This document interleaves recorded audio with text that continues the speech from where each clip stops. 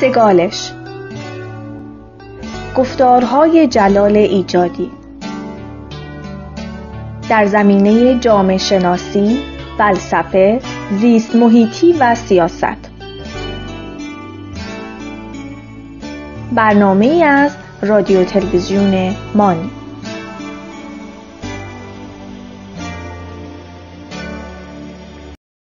دوستان گرامی درود بر شما. من جلال ایجادی و برنامه ما سگالش.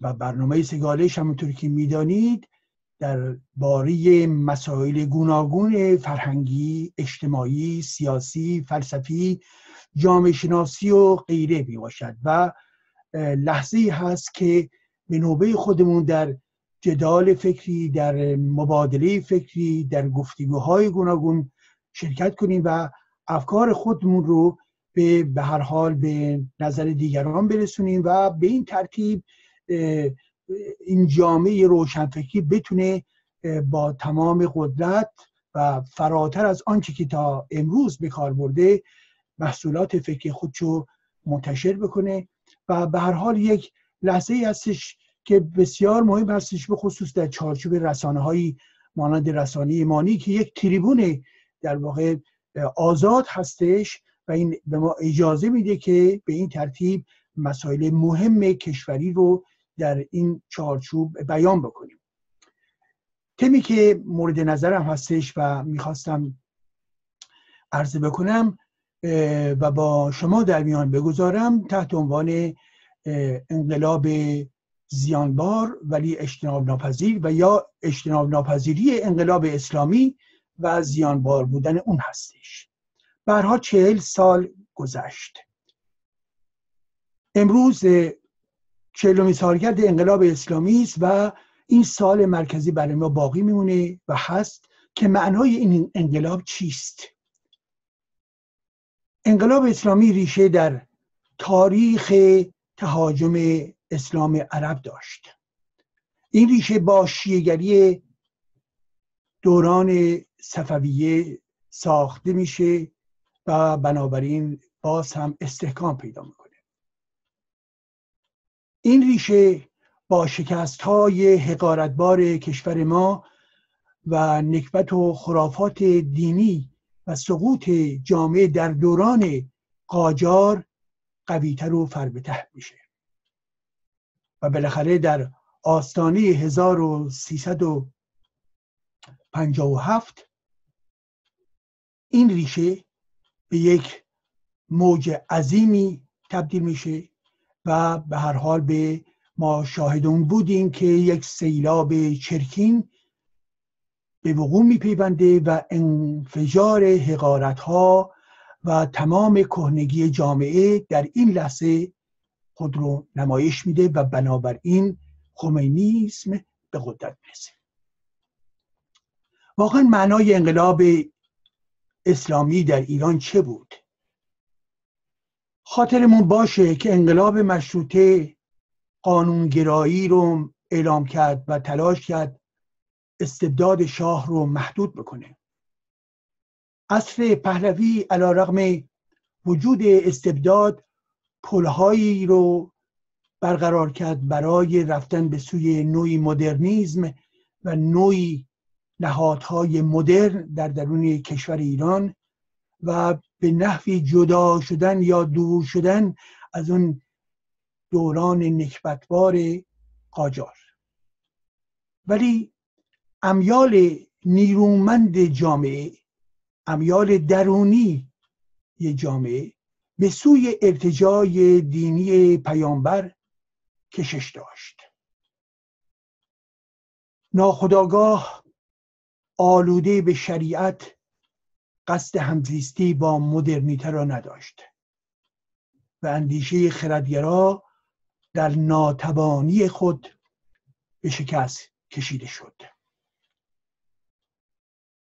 اگر خاطرمون باشه در زمان شاه در سال 1342 خیزش فرومایگان و تاون آخوندیزم روی داد. و دشمنی اونها با آزادی زن و مدرنیته به نحو اوریان آشکار اعلام شد و این رو در چارچوب اعلامیه آقای خمینی میشه مشاهده کرد. و به این ترتیب این خیزش به طور قطعی حساب خود رو در جامعه روشن کرد و خواست خود رو اعلام کرد. آنچه که می‌خواست چه بود؟ آنچه که این خیزش تاونی در انتظارش بود رجوع به گنداب های رساله ها و روایات برای حکومت الله و سقوط به پسترین الگوی اجتماعی بودش پیش از انقلاب در زمان شاه اسلام گرایان ریشه دواندند شاه به زیارت کعبه و امام رضا می‌رفت. در مدارس درس تعلیمات دینی اجباری شد. چاپ زرنگار قرآن توسط دولت سفارش داده شد. در سال 1345 مسجد مسجد دانشگاه تهران افتتاح شد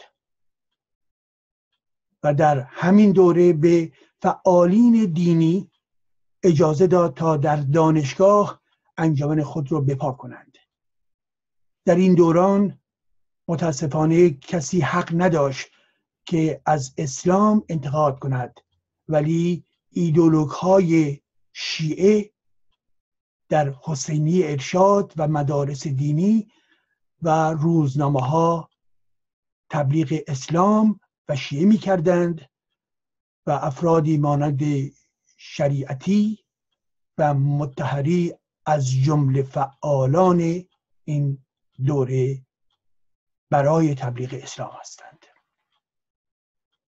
آثار شریعتی و گفتار خمینی هر گونه میل به آزادی را نابود می ساخت همه جا پخش می شد با قیمت های نازل. و اعضای جامعه رو به این ترتیب شیفته و پریشان ایدولوژی خود می کرد ایدولوژی شهادت ایدولوژی شیعه ایدولوژی فاطمه ایدولوژی ابوذر و بنابراین ایدولوژی اسارت. روشنفکران سیاسیون غیر دینی در باره خرافه ها و دین سکوت کرده بودند و پس از اون به شکل فعال گام به گام پشت امام جای می گرفتند دیپلماسی غرب به تکاپو افتاده بود به لحاظ مجموعه شرایط بینالمللی و مسئله شوروی و نزدیکی ایران با کشور شوروی و همچنین بیماری شاه. دیپلماسی غرب در جستجوی این بود که نقشی ایفا بکنه برای حمایت از منافع استراتژیک خود. بنابراین از یک سال پیش از انقلاب با آخوندها وارد مذاکره شد و در نشست گواتلوپ که در 14 تا 17 دی ماه 1357 برگزار شد. برنامه انقلاب خمینیستی را مورد تایید قرار داد. بنابراین به این ترتیب طی یک سال به سرعت همه حوادث داره جلو میره. طی یک سال بیش از پیش پیش از انقلاب همه چیز جور شده بود. سامان یافتگی به جلو می‌رفت برای اینکه یک انقلاب دینی یک انقلاب که در حامل گنداب های تاریخی هستش به قدرت برسه. طبعا این انقلاب انقلابی بود که قدرتی رو جابجا می‌کرد طبقه اجتماعی رو جابجا می‌کرد. ولی محتوای خود رو در اسلام توضیح می‌داد. یعنی بازگشت به قهقرا. و به این ترتیب در طی این یک سال پیش از انقلاب تظاهرات گسترده همه جا رو فرا می‌گیره و نظامیون مداخله می‌کنن و افراد رو می‌کشن. قربانیان خیابانی با اسطوره سازی با اسطوره سازی دینی انگیزه و وسیله برای باز تولید تظاهرات بعدی رو به وجود می آورند مراسم سوگواری شیعه که همون مراسم چلم باشه به سلسله بیپایانی از های خیابانی تبدیل میشه و در جامعه هرچند در و هست. کسانی هستند که شکنجه شده یه سواک هستند. ولی به هر حال فضای عمومی فضای اسلامی شده و همه این جامعه همه این توده ها و همه بخش های روشنفکری و سیاسی این جامعه در این فضای عمومی اسلامی قرار گرفته و حرکت می کنند اقلانیت منکوب شده. و همه در هیجان احساسی فراگیر و عمومی غرق شدند.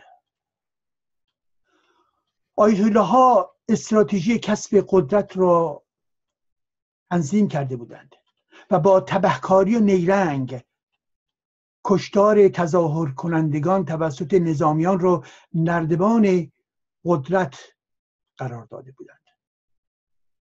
آیت الله ها آتش سوزی سینما رکس آبادان را در 28 مرداد 1357 ساماندهی کردند و 400 نفر را که به دیدار فیلم گوست ها رفته بودند زنده زنده کشتند و به دروغ رژیم را متهم کردند. دستگاه تبلیغاتی آخوندها بسیار قوی بود. آخوندها کشته های تظاهرات یا روزی که به عنوان جمعه سیاه معروف شد 17 شهریور رو چهار هزار نفر اعلام کردند. حال آنکه این تظاهرات که در جنوب تهران و همچنین جاله بودش بر اساس آماری که همون زمان و پس از اون در زمان جمهوری اسلامی منتشر شد تعداد افراد کشته شده 88 نفر بودند. اونها بنابراین گفتن چهار هزار نفر ولی واقعیت 88 هزار ببخشید 88 نفر بود. طبعا جان هر کسی دارای ارزش هستش و کسی حق نداره جان یک تظاهر کنندگان رو بگیره. ولی بحث من در اینجا روی قدرت سیستم تبلیغاتی ملایان هستش. و در این دوران دورانی هستش که همه چیز در نظام موجود در حال فروریزی هستش. شاه شتابان و دیر هنگام عقب کرد و امتیاز می‌داد. دولت ها تغییر میافت و آخرین مهلت بختیار به مقابله با موج سنگین خمینیستی اقدام نمود ولی کار از کار گذشته بود و جامعه فقط صدای یک نفر را میشنید.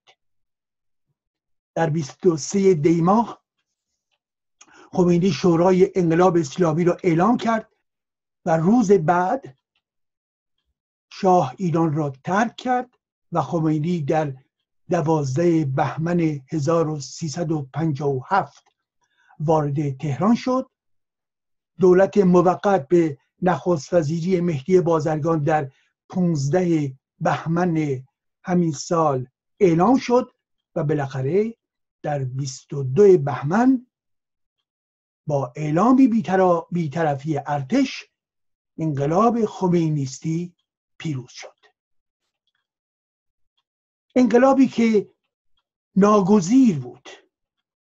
به لحاظ مجموعی روند تاریخی روند اجتماعی روند شکست خردگرایی روند نبودن افکار آزادی خواهی و دموکراسی خواهی و پارلمانتاریستی قوی در درون جامعه. و به لحاظ اینکه نخبگان دست از کار کشیده بودند و پشت امام حرکت می کردند و امام با لشکر خودش با مسجدها و حوزه ها و مدارس و مجموعه پول و قدرت تشکیلیاتی خود به حرکت در آمده بود و در این مسیر با حمایت بنویلی حرکت می‌کرد و از آن استفاده می‌برد. هرچند که چاپلوسی هرچند که عوام هرچند که دروغ گویی در بطن این نظام جدیدی که میاد خودشو بالا میکشیده وجود داشت. خود اون ایرنگ آخوندها در بطن دین بود تاریخی بود.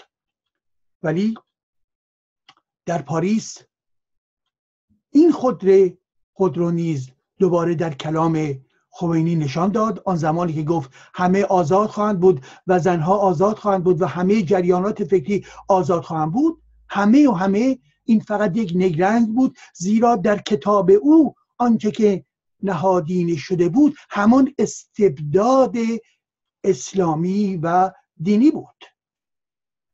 به قول خود می‌گفت خود کردم و کسانی که دور او بودند یزدی ها قدزاده ها و به گفته خود آقای بنی سعد که تمام سخنرانی های خمینی رو تنظیم می‌کرد که مطابق شرایط و مطابق میل عملا غرب باشه.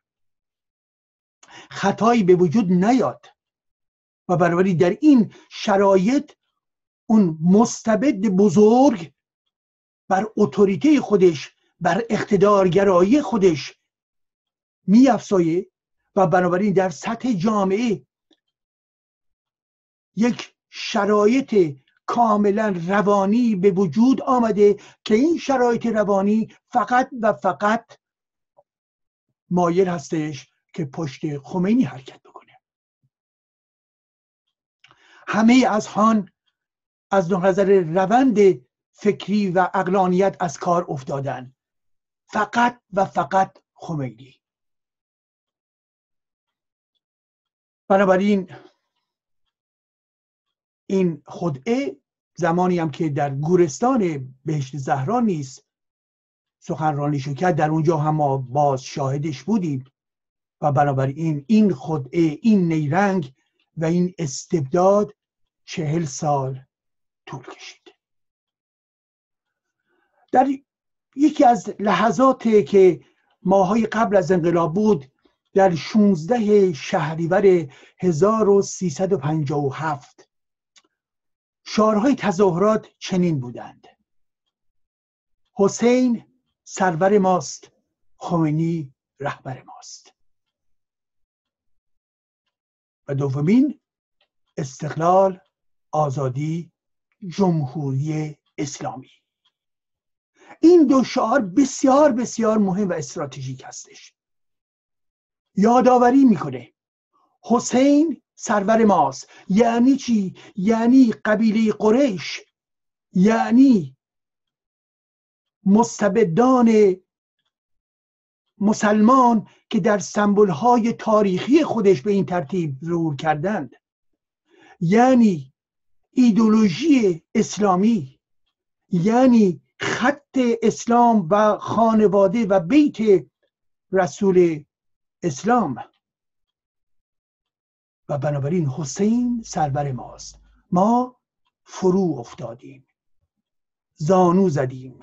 در برابر چی؟ در برابر ایدولوژی اسلام. مس شدیم. از خود بیگانه شدیم. و این لحظه یادآوری بود که در این مسخ شدگی باید باقی بمانیم. که جامعه ایران در این روند پریشانی و دور از خرد باید باقی بمونه. حسین سرور ماست. یعنی چی؟ یعنی آخوندهایی که ادامه دهندگان حسین ها هستند ادامه دهندگان خلافت علی و خلافت محمد هستند بنابراین اونها ادامه کار رو خواهند داد. سرور این کشور خواهند بود. و مردمان در واقع یک سرور خواهند داشت و اون هم این بار که خمینی هستش. حسین سرور ماست و خمینی رهبر ماست.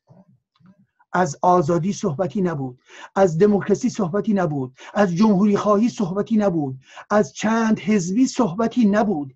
همه جامعه در جستجوی یک دیکتاتور یک فرد توتالیتر یک فرد اقتدارگرا به حرکت افتاده بود و فقط این را می‌خواست. ذهن جامعه کور شده بود. چشمان جامعه دیگر نمی‌دید. و بنابراین تمام مسئله به این محدود می‌شد که چی؟ که جامعه باید در استعمار اسلامی در ایدولوژی اسلامی شیعه باید باقی بماند. یعنی آن چیزی که در 1400 سال پیش آغاز شده بود در این انقلاب دوباره این وعده و این در واقع قرارداد رو مجددا به شکل آشکار و اوریان تکرار می‌کردن و همه افراد فریاد می‌زدن. بله ما همان اسارت اسلام رو می‌خواهیم و پس از اون گفته شد استقلال آزادی جمهوری اسلامی. استقلال. به تب برای مسلمانان ایدولوگ یا ایدولوگ های مسلمان پیوسته و پیوسته اشارهشون به این بود که در زمان پیش از اونها جامعه ایران در واقع به نوعی مستمر تبدیل شده بود. و اینها استقلال می‌خوان بیارن. چهل سال گذشت و ما استقلال رو دیدیم. استقلال یعنی چی؟ یعنی اینکه ادامه تجاوز در خاورمیانه ادامه خاص جهاد در سراسر جهان توتیگری در مناسبات بینالمللی و تمام تلاش های پنهانی برای فروش کشور. و پیمان های مانند پیمان با روس ها و چینی ها و مناسبات پنهانی با محافلی از غرب. اینها برای ما استقلال نیست. آزادی فقط یک فریب. آزادی فقط و فقط برای راندخاران برای خمینی هستش. خمینی یک تجلی یک دیکتاتوری کامل در شخصیت فردی او خودش هستش. و بنابراین آزادی خواست این هیئت حاکمه جدید نمی‌توانست باشه.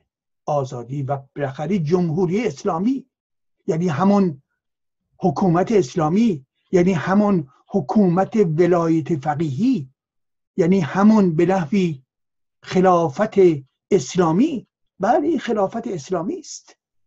خلافت اسلامی شیعه است. یک فرد امام بر تمامی جان و مال این مردمان حکومت می‌کنه. یک فرد. تمام سلسله مراتب سیاسی در ایران زیر نظر یک فرد میگرده. سیستم دانشگاهی سیستم اقتصادی سیستم بودجه نفتی همه و همه سیستم رابطه با غرب و در ارتباط با پرونده های گوناگون فقط به یک نفر منتهی میشه و اون هم به دنبال خامنه به دنبال خمینی خامنه ای امروز. به این ترتیب هستش که بنابراین این شعار یک شعار بسیار بسیار معناداری هستش که این در دل جامعه این در تمام اصاری انقلاب رو در خود جمع کرده به این, به این ترتیب اعلام داره می‌کنه که این انقلاب دینی این انقلابی که بناگزیر داره اتفاق میفته و بناگزیر به زیانباری می‌رسه این انقلاب بنابراین خواست اونها بود که به قدرت برسند. بنابراین معنای انقلاب. جز بازگشت قطعی به اسارت شیعه و سروری حسین. به معنای از خود بیگانگی ما. چیزی دیگه نمی‌توانست باشه.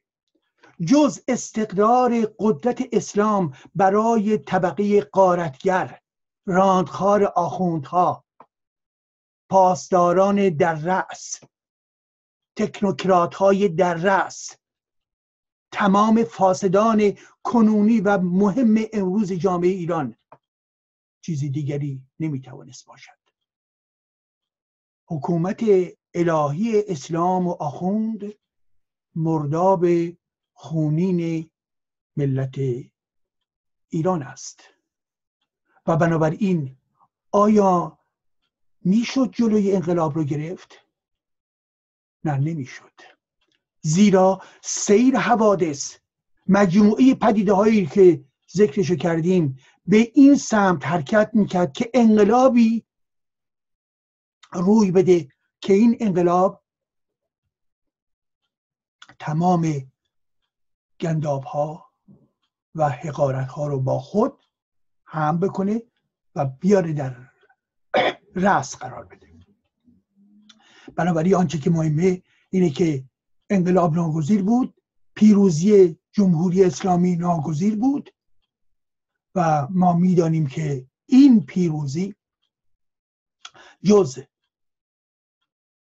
نتایج زیانبار برای جامعه ما برای ملت ما برای جوانان ما برای زنان ایران برای فرهنگ برای علم برای محیط زیست چیزی ای نبود.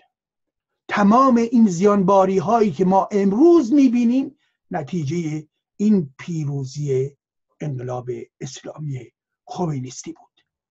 بنابراین با تمامی این آسیب هایی که در دل جامعه اتفاق افتاده تمام این عقب ماندگی هایی که انبار شده تمام این زخم هایی که بر جامعه وارد شده ما باید تلاش بکنیم. یک کار سنگین بزرگ در برابر ما هستش. این کار یعنی چی؟ یعنی پایان دادن به همین انقلاب اسلامی که قدرت تاونی اسلام رو در ایران برقرار کرد.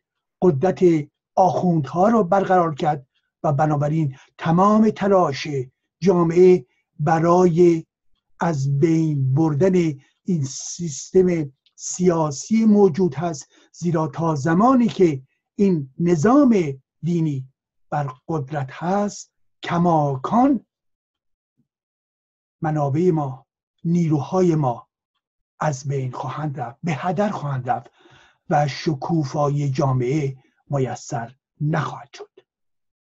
موفق و پیروز باشید.